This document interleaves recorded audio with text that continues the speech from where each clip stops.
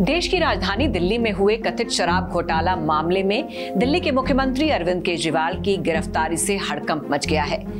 केजरीवाल को गुरुवार शाम ईडी ने सीएम हाउस से ही गिरफ़्तार कर लिया और इस तरह से वो दिल्ली शराब नीति घोटाले के फेर में फंसने वाले चौथे बड़े नेता बन गए हैं।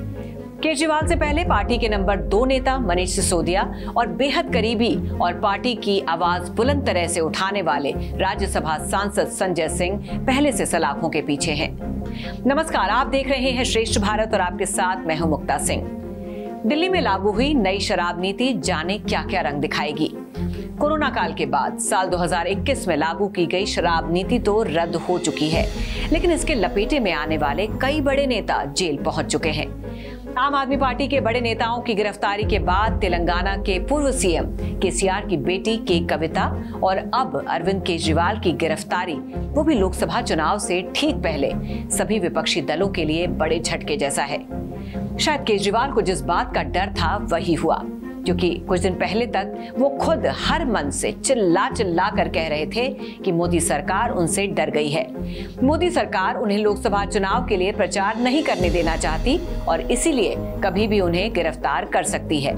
यही वजह है कि केजरीवाल लगातार उत्तर से लेकर दक्षिण तक तमाम विपक्षी दलों को एकजुट करने में लगे थे। उसी कांग्रेस के साथ गले मिल रहे थे, जिसके भ्रष्टाचारी नेताओं की लिस्ट अभी अपने हाथों में लेकर घुमा करते थे। लेकिन केजरीवाल की कोई तिगड़म काम नहीं आई। जिन जाँच एजेंसीज पर वो मोदी के एजेंट के रूप में काम करने का आरोप लगाते थे, अब उसी जाँच एजेंसी के दफ्तर में रात गुजारने को मजबूर हो गए हैं। वैसे देखा जाए तो केजरीवाल के गिरफ़्तार करने की नौबत नहीं आती, अगर वो सही समय पर सही तरीके से जाँच एजेंसी के सामने पेश हो जाते। शराब घोटाले को लेकर पूछताछ में सहयोग करते, लेकिन नहीं, वो तो अपनी ही धुन में सवार थे। जाँच एजेंसियों के साथ बच्चों की तरह आँख चौली का खेल खेल रहे थे। एक के बाद एक, ईडी के नौ सम्मन नजरअंदाज कर चुके थे, लेकिन गुरुवार की रात उनकी एक न चली।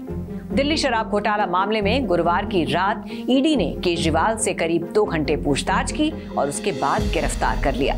अब आपको गुरुवार के दिन हुआ पूरा घटनाक्रम बताते हैं। गिरफ्तारी से पहले कि अरविंद केजरीवाल दिल्ली हाई कोर्ट से राहत मांगने पहुँचे थे, लेकिन वहाँ से भी उन्हें निराशा हाथ लगी। हाई कोर्ट ने ईडी से केजरीवाल पर लगे तमाम आरोपों की फ़ाइल मांग ली। बंद कमरे में फ़ाइल देखने के बाद मामले की सुनवाई कर रहे जज ने केजरीवाल को राहत देने से मना कर दिया।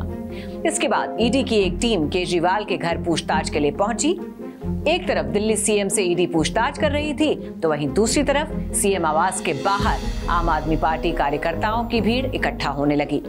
माहौल बिगड़ता देख सुरक्षा का भारी बंदोबस्त किया गया। रात होते होते खबर आई कि ईडी ने दिल्ली के मुख्यमंत्री अरविंद केजरीवाल को गिरफ़्तार कर लिया है। बताया जा रहा है कि दिल्ली की शराब नीति में हुई गड़बड़ियों के बारे में अरविंद केजरीवाल को पूरी जानकारी थी। इस मामले में केजरीवाल से पहले दिल्ली के उप मुख्यमंत्री रहे मनीष सिसोदिया, राज्यसभा सांसद संजय सिंह समेत कई बड़े नेता पहले ही गिरफ़्तार हो चुके हैं। ये बात तो सब जानते हैं कि दिल्ली सीएम को ईडी अब तक नौ बार समन भेज चुकी है, लेकिन केजरीवाल एक बार भी ईडी के सामने पेश नहीं हुए। ऐसे में ये जानना भी ज़रूरी है कि आखिर क्या थी वो शराब नीति, जिसके रद्द होने के बाद भी आम आदमी पार्टी नेताओं की गिरफ्तारी का सिलसिला जारी है। दिल्ली सरकार ने साल 2021 में शुरू की गई अपनी शराब उत्पाद शुल्क नीति में कई बदलाव किए थे। नई नीति में शराब पीने की मिनिमम एज 25 से घटाकर 21 साल कर दी गई। सरकारी शराब ठेकों को पूरी तरह बंद करके सारे ठेके निजी हाथों में सौंपे गए। प्राइवेट वेंडर्स को लेकर स्टोर का लाइसेंस जारी किया गया। शराब के अलग अलग ब्रांड्स के लिए रजिस्ट्रेशन के अलग अलग मानदंड बनाए गए। दिल्ली के बाहर के क्षेत्रों में प्राइस डिटर्मिनेशन जैसे फैक्टर्स को ध्यान में रखा गया। इसमें सालाना शराब वेंडिंग लाइसेंस शुल्क में भी बढ़ोतरी का प्रस्ताव था। इसे 8 लाख रुपए से बढ़ाकर 75 लाख रुपए किया गया। दिल्ली सरकार ने शराब के रिटेल बिज़नेस से हाथ खींच लिया था। बोली लगाकर आठ प्राइवेट सेलर्स को लाइसेंस दिए।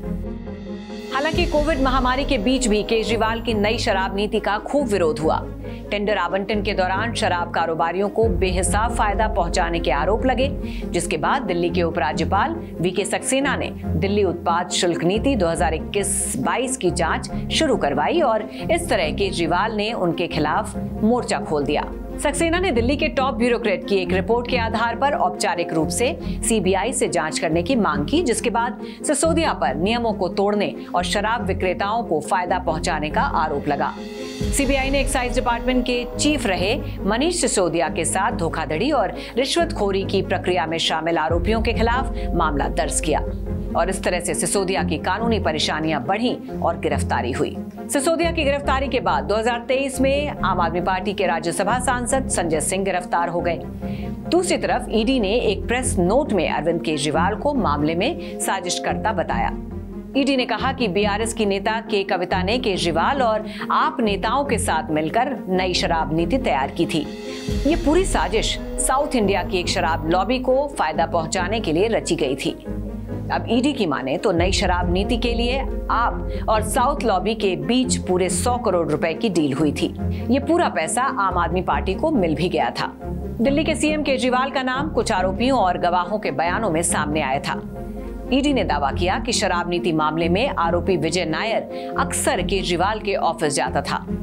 ये नायर ही था जिसने इंडो स्पिरिट के मालिक समीर महेंद्र को केजरीवाल से मिलवाया था। साउथ लॉबी से पहले आरोपी और अब गवाह बने राघव। मगुंटा ने कहा था कि उनके पिता, जो आंध्र प्रदेश की सत्ताधारी पार्टी, वाईएसआर कांग्रेस के सांसद हैं, वो शराब नीति के बारे में ज़्यादा जानकारी लेने के लिए केजरीवाल से मिले थे। वहीं मनीष सिसोदिया के पूर्व सचिव सी अरविंद ने 7 दिसंबर 2022 को अपने बयान में बताया था कि मार्च 2021 में उन्हें सिसोदिया से मंत्री समूह की एक ड्राफ्ट रिपोर्ट मिली थी। उन्होंने दावा किया कि जब वो सिसोदिया के बुलाने पर केजरीवाल के घर गए तो वहाँ सत्येन जैन पहले से मौजूद थे। सी अरविंद ने कहा कि उनके सामने जो दस्तावेज़ पेश किया गया, उसे उन्होंने पहली बार देखा था क्योंकि मंत्री समूह की किसी बैठक में ऐसे किसी प्रस्ताव पर चर्चा नहीं हुई थी। लेकिन उन्हें इसी डॉक्यूमेंट के आधार पर एक मंत्री समूह की रिपोर्ट तैयार करने के लिए कहा गया। इस रिपोर्ट में शराब का थोक कारोबार निजी लोगों को देने की बात थी। मनीष सिसोदिया को शुरू में फरवरी 2023 में पहले सीबीआई ने और फिर ईडी ने मनी लॉन्ड्रिंग मामले में गिरफ़्तार किया था।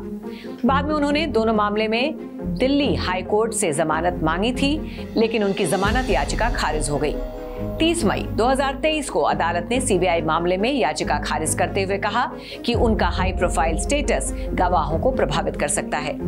सिसोदिया ने दिल्ली हाई कोर्ट के इस फैसले को सुप्रीम कोर्ट में चुनौती दी, लेकिन वहाँ से भी उनको कोई राहत नहीं मिली। सुप्रीम कोर्ट ने उनकी अपील खारिज करते हुए कहा कि एक मनी लॉन्ड्रिंग के प्राथमिक अनुमान सही लग रहे हैं। सिसोदिया की गिरफ्तारी के बाद तो जैसे आम आदमी पार्टी के उल्टे दिन शुरू हो गए। पहले राज्यसभा सांसद संजय सिंह, फिर केसीआर की बेटी के कविता, और अब खुद अरविंद केजरीवाल का नंबर लग गया है। केजरीवाल की गिरफ्तारी से सियासत भी गर्म हो गई है। लेकिन अब देखने वाली बात यह होगी कि अगर उन्हें सुप्रीम कोर्ट से भी कोई राहत नहीं मिली तो क्या होगा? क्या केजरीवाल का भी अपने साथियों के साथ तिहाड़ जेल जाना तय है? और अगर केजरीवाल गए तिहाड़ तो वहाँ से कैसे लोकसभा चुनाव की तैयारी करेंगे? ये अपने आप में सबसे बड़ा सवाल है। तो फ़िलहाल की इस खबर में बस इतना ही। बाकी खबरों के लिए देखते रहिए श्रेष्ठ भारत। श्रेष्ठ भारत पर खबरों से जुड़े रहने के लिए चैनल को सब्सक्राइब करें, बेल आइकन दबाएँ और देखते रहें श्रेष्ठ भारत।